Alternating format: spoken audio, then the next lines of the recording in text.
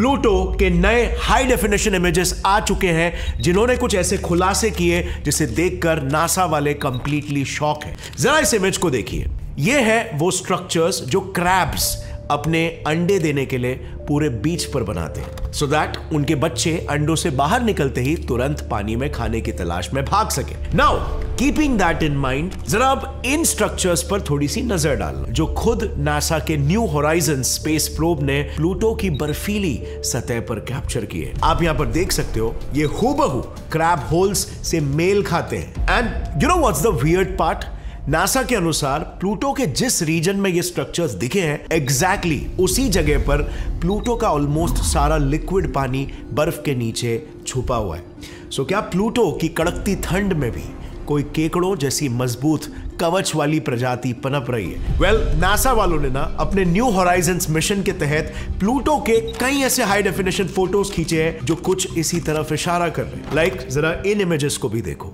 ये प्लूटो के वातावरण की तस्वीर है जो नासा के अनुसार बिना किसी वोल्केनिक इरप्शन के भी जहरीली गैसेस से भरती जा रही है। Which is kind of similar to Earth is well यहाँ पर भी दो सेंचुरीज में इंसानी गतिविधियों ने तेज़ी से वातावरण को जहरीली गैसेस से भर दिया है। So all in all Pluto दूर से जितना शांत हमें नज़र आता है, शायद वो उतना शांत बिल्कुल नहीं है। इनफैक्ट जब मैं इसके सभी इमेजेस को देख रहा था ना, तब मुझे एक वियर्ड सी इमेज मिली एंड इट वाज दिस ये छुपा रुस्तम है एरोकॉट एक स्नोमैन के शेप का एस्टेरॉइड जो प्लूटो के पीछे छुपा था। हालाँकि नासा के अनुसार ये कोई साधारण सा एस्ट्रॉइड नहीं है, बल्कि एक प्रकार का टाइम कैप्सूल हो सकता है क्योंकि एस्ट्रॉइड्स यूजुअली ऐसे शेप के नहीं होते। सो so, आखिर प्लूटो अपने अंदर और ऐसे कितने राज छुपा कर बैठा है? Well the only way to find out is हम एक एक करके उसके सभी मिस्टीरियस इमेजेस को डिकोड करें और सच्चाई की जड़ तक पहुँचने की कोशिश करें कि प्लूटो हमेशा से नासा के लिए एक बहुत ही क्यूरियोसिटी वाला विषय रहा है क्योंकि 2006 से पहले हमारे पास जो प्लूटो की सबसे क्लियर पिक थी ना वो कुछ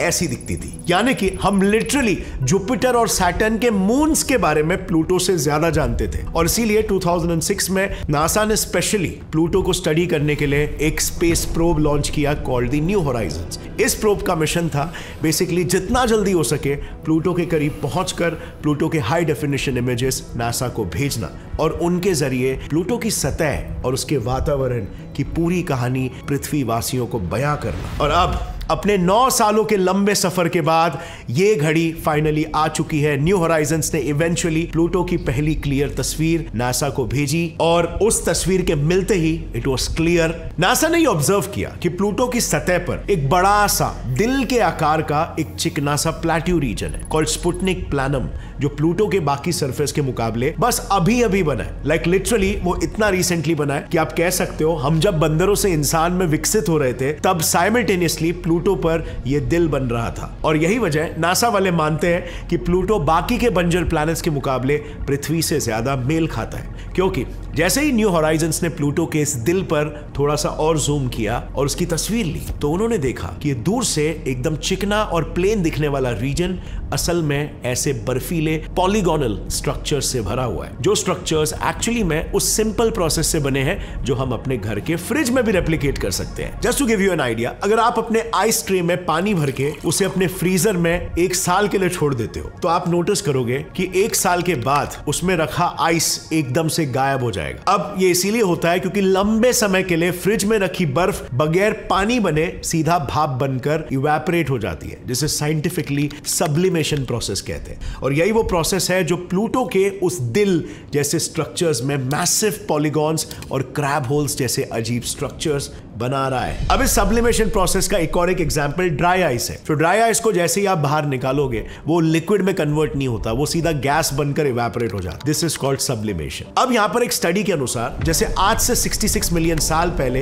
एक बड़ा सा मीटिरॉइड पृथ्वी से आके टकराया था। उसी तरह आज से करीब 10 मिलियन साल पहले पॉसिबली एक बड़ा सा ऑब्जेक्ट प्लूटो से भी टकराया था। लेकिन क्योंकि प्लूटो सूरज से कोसों दूर स्थित है और मेजरली नाइट्रोजन आइस से बना हुआ है तो अनलाइक पृथ्वी, जहाँ पर आज उस इंपैक्ट क्रेटर में पानी भरा हुआ है। प्लूटो के इंपैक्ट क्रेटर में धीरे धीरे नाइट्रोजन आइस भरना शुरू हुआ। और वही नाइट्रोजन आइस जब सब्लिमेशन प्रोसेस के ज़रिए सीधे आइस से भाप बना तो वो भाप अपने नीचे की सतह को क्रैब होल्स और पॉलीगॉन्स जैसे अजीब से शेप्स में कार्व करते हुए ऊपर उड़ गया। वेल well, अगर ये थियरी एक्यूरेट है तो यस प्लूटो का ये वियर्ड दिल जैसे दिखने वाला स्पुटनिंग प्लानम उसमें मौजूद वियर्ड स्ट्रक्चर्स और प्लूटो का थिक एटमोस्फियर इन सभी चीज़ों के लिए नेचुरल चीज़ें जिम्मेदार है और वो है नाइट्रोजन आइस की भाप। सो so, ऐसे में हमें केकड़ों जैसे दिखने वाले और बिहेव करने वाले एलियंस को शायद टाटा बाय बाय बोलना पड़ सकता है। सो so, शायद ऐसे में प्लूटो वाकई में उतना ही बंजर है जितने बाकी के हमारे सोलर सिस्टम्स के प्लैनेट्स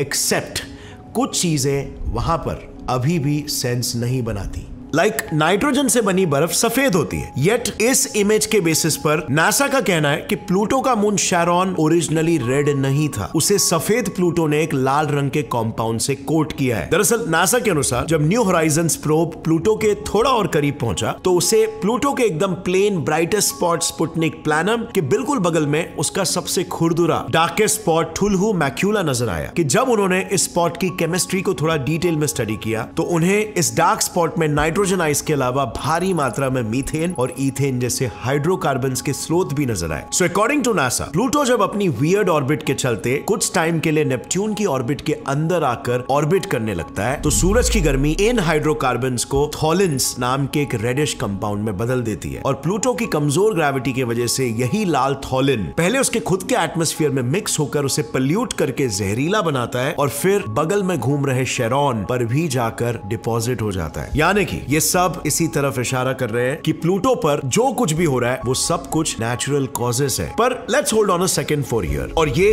काफ़ी विचित्र फैक्ट है। क्या आपने कभी सुना है कि पृथ्वी पर या किसी दूसरे प्लेनेट पर ग्रेविटी अनइवन है? Well University of California Santa Cruz के एक lead researcher professor Francis Nimmo ने जब नासा के न्यू होराइजन से मिले इमेजेस को स्टडी किया, तब उन्हें प्लूटो के सरफेस पर कुछ ऐसे क्रैक्स और फॉल्ट्स दिखे, जो बता रहे थे कि प्लूटो के स्पुटनिक प्लानम रीजन में ग्रेविटी अनइवन है and yes not magnetic field not atmosphere बल्कि ग्रेविटी अनइवन है सो प्रोफेसर फ्रांसिस निमो के अनुसार प्लूटो का आईसी दिल स्पुटनिक प्लानम एक ऐसी खास जगह पर स्थित है जहाँ के मैस में अगर 19-20 का भी फ़र्क हुआ तो ऑलरेडी टिल्टेड प्लूटो और भी ज़्यादा टिल्ट हो सकता है क्योंकि एक ऐसी खास जगह है जहाँ से हम अगर ऑपोजिट साइड की ओर एक इमेजिनरी लाइन ड्रॉ करें तो वो लाइन सीधा प्लूटो के मून शेरॉन से जाकर मिले ऐसे इमेजिनरी लाइन को एस्ट्रोनॉमर्स टाइडल एक्सिस कहते हैं जिसमें जरा से बदलाव से पूरे प्लैनेट का रोटेशन ही बदल जाता है। और ये प्रोफेसर फ्रांसिस निमो ने कंप्यूटर सिमुलेशन के ज़रिए वेरीफाई भी किया है। उनका एनालिसिस ये कहता है कि प्लूटो जो करंटली स्लीपिंग पोजीशन में रोटेट कर रहा है, वो ओरिजिनली पृथ्वी और बाकी प्लैनेट्स की तरह ही मोर और लेस सीधा खड़ा होकर रोटेट करता था। पर फिर, जब इवेंचुअली स्पुटनिक प्लानम के इंपैक्ट क्रेटर में चीज़ें भरने लगी, तब वहाँ का मैस अनइवनली बढ़ने की वजह से पूरा का पूरा प्लूटो स्पुटनिक प्लानम की दिशा में 120 डिग्रीज तक लुढ़क गया। अब कई सारी प्रीवियस थियरीज कहती है कि स्पुटनिक प्लानम में भारी चीज़ें और कुछ भी नहीं, बल्कि सिर्फ़ नाइट्रोजन आइस है। लेकिन प्रोफेसर निमो का कहना है कि नाइट्रोजन आइस अकेले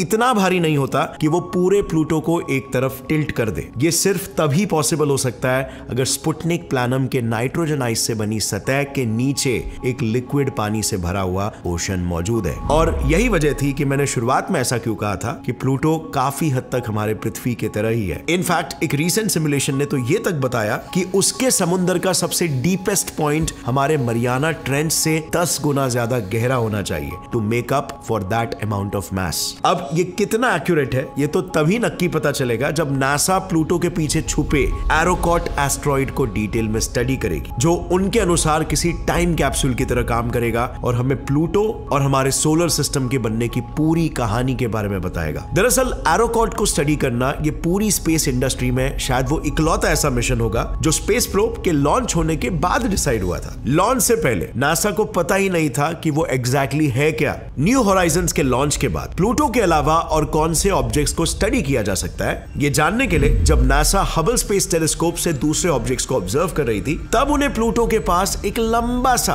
फियर्ड सा ऑब्जेक्ट नज़र आया और उन्होंने उसे भी लगे हाथों स्टडी करने का फैसला लिया। पर एरोकॉट तक पहुँचना इतना आसान नहीं था। न्यू होराइजन ने जब जब 2015-16 में प्लूटो की स्टडी कंप्लीट की, तब लिटरली उसके तीन साल बाद ही वो एरोकॉट तक पहुँच पाए और फिर वो उसके इमेजेस निकालने शुरू किए। अब इसे अगर आप थोड़ा ध्यान से देखोगे ना तो यू विल नोटिस कि ये नॉर्मल एस्टेरॉइड से काफ़ी डिफरेंट है। ये ऐसा दिखाई देता है, मानो किसी एलियन स्पेसशिप के दो मॉड्यूल्स हो।